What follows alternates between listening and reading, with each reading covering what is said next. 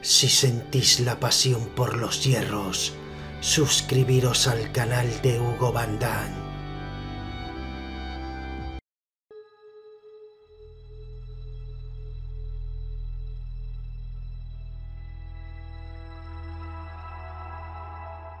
A principios de los años 60, John Twitchell, editor de investigación de Wader, experimentó con el famoso Dianabol.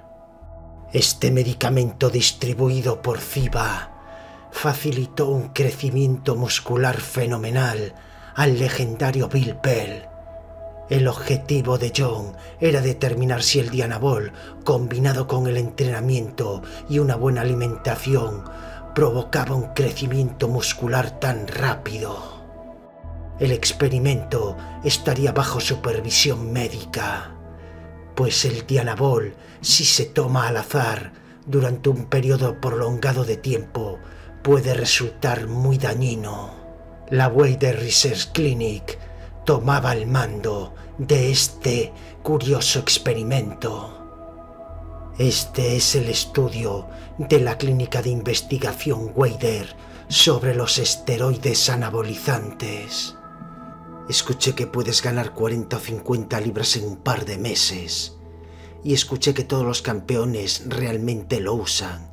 Y es por eso que ganaron sus títulos. Mi amigo me dice que conoce a un tipo que pesa 260 libras y es todo músculo. ¿Qué tan ciertas son estas afirmaciones? Bueno, culturistas, lamentablemente todos son falsos. Las drogas no les darán un físico fantástico de la noche a la mañana y son extremadamente peligrosas de usar. La clínica de investigación Wader ha encontrado que estos medicamentos definitivamente no son adecuados para el uso en el culturismo. Que quede claro que no te vas a convertir en Mister América de la noche a la mañana. La primera afirmación sobre la que le daremos los resultados reales es cuánto puede ganar realmente con estos medicamentos.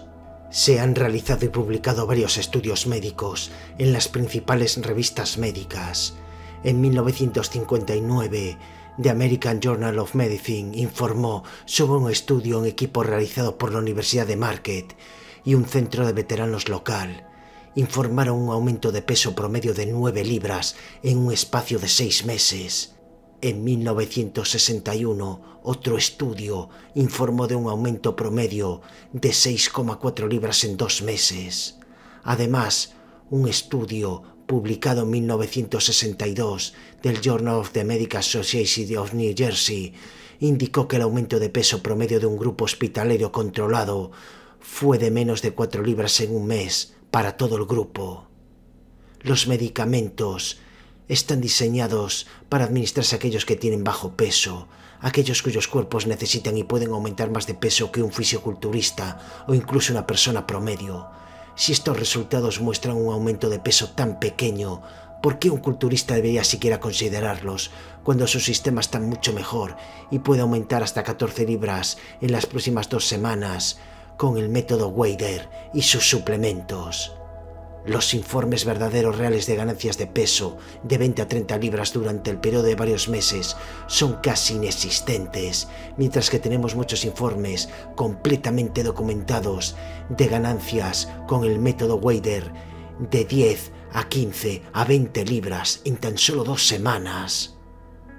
Estas drogas son hormonas muy peligrosas. Alrededor de 1935, la ciencia se dio cuenta de que una hormona masculina llamada andrógeno, que toma el control del cuerpo de un niño en la pubertad y lo guía hasta la edad adulta, esta hormona es responsable del crecimiento, de los órganos sexuales, el vello corporal y otras características que indican que se acerca a la edad adulta. También son responsables de la pérdida de contornos suaves del adolescente y de la obtención de tejido muscular sólido. Los investigadores sabían que los efectos anabólicos de la hormona podrían ser de gran valor, siempre que pudieran separarse del efecto androgénico de la hormona. Las primeras drogas probadas produjeron cierto aumento de peso, pero los efectos secundarios sexuales de la droga fueron demasiado pronunciados. La experimentación continua condujo finalmente a las drogas que de uso hoy en día, Dianabol, Decadurabolín, etc. Estos medicamentos no contienen tantas hormonas sexuales, pero contienen lo suficiente como para alterar fácilmente el equilibrio sexual del cuerpo. Además, el efecto de las drogas es el siguiente. Alteran artificialmente el equilibrio de nitrógeno, lo que hace que el cuerpo use más proteína de lo normal en el crecimiento de los tejidos. Medicamentos similares a estos, que se han utilizado ampliamente en la cría de ganado, han sido prohibidos recientemente, debido a sus posibles características cancerígenas. No podemos decir que si hay algún paralelo, pero ciertamente estas drogas merecen más investigación. Los fármacos están disponibles solo con receta médica debido a su naturaleza. El mal uso de los mismos puede traer graves consecuencias. En lo que a nosotros respecta, no fueron desarrollados para culturistas y no deberían ser utilizados por culturistas. En lo que respecta a la investigación de la clínica Wader, solo un culturista famoso usó alguna vez estos medicamentos, y este informe es solo un rumor. En este momento estamos tratando de verificarlo. Aparte de este posible caso, ninguna estrella del culturismo ha tomado estas píldoras, ni ha aconsejado a nadie que las tome.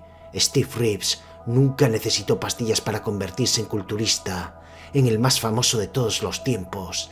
Clarence Ross, Ad Harris, Leo Robert o muchas otras estrellas no las necesitaban, así que ¿por qué deberías hacerlo tú? Leroy Colbert se siente muy seguro en este punto. Dice, el culturista debe seguir una dieta lo más natural posible en todo momento. Las drogas se inventaron para curar los males creados por la mala vida del hombre. No hay necesidad de seguir medios artificiales para desarrollar un cuerpo fuerte y natural. Los dos no son compatibles. Siga el consejo de los campeones. Las formas naturales son las mejores. Todavía hay otro factor a considerar en el uso de estos medicamentos. No se pueden utilizar de forma selectiva, es decir, afectan a todo el sistema muscular por igual y no a ciertos músculos que tal vez quieras desarrollar. Puedes agregar una pulgada a tus brazos, pero también agregarás una pulgada a tu cuello, y aunque pueda agregar una pulgada o dos a tu pecho, también la agregará tu cintura y glúteos. El desarrollo selectivo es posible a través del ejercicio correcto y una nutrición sensata.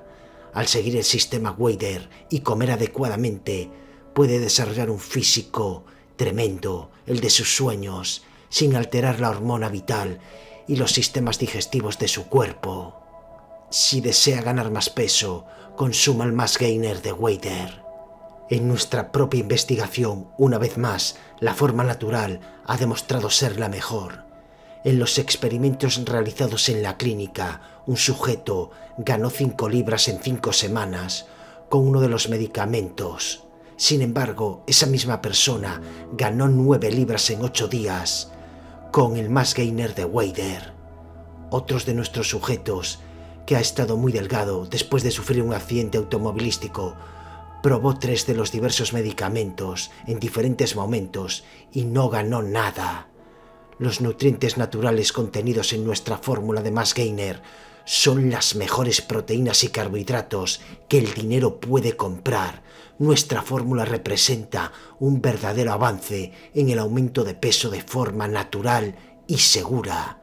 Por lo tanto, si quieres ganar peso muscular de forma rápida y segura, si no quieres correr el riesgo de alterar tu metabolismo interno, si quieres la forma natural, ve a Wader, al más gainer de Wader le dará el peso que desea, sin efectos secundarios peligrosos, y le dará más peso menos tiempo. Combinado con el método Wader, no hay mejor manera de lograr un físico de Mister América. Una vez más, la clínica de investigación Wader dice esto. Los medicamentos para la formación de tejidos son peligrosos. No se pueden obtener sin una receta y ningún médico competente le dará una receta a menos que necesite un medicamento específico. Estas píldoras no te dan ganancias fabulosas, sino menos de lo que puedes ganar con la nutrición natural. Aconsejamos a todos los culturistas que deseen aumentar de peso de forma segura y natural que soliciten el Mass Gainer Wader